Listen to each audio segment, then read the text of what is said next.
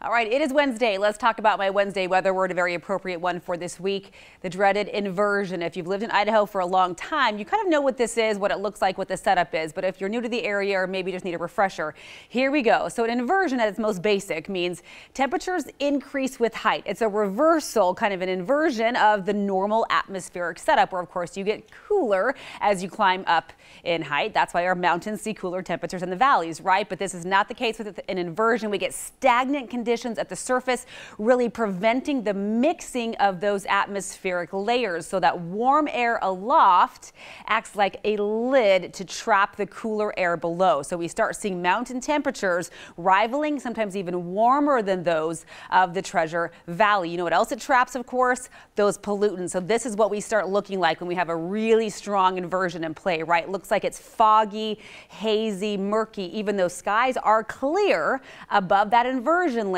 we get those pollutants trapped at the surface that start to worsen our air quality. That's why we currently have that air stagnation advisory in effect because it might start looking like this out there. Air quality could get poorer and poorer. It is common in winter to have this set in simply because of lack of warming. We need that uh, the lower atmosphere to warm to the temperatures of the higher atmosphere to kind of start that mixing process. And because of longer nights and just cooler temperatures in general, we tend to see these set in for a longer amount of time in the winter months.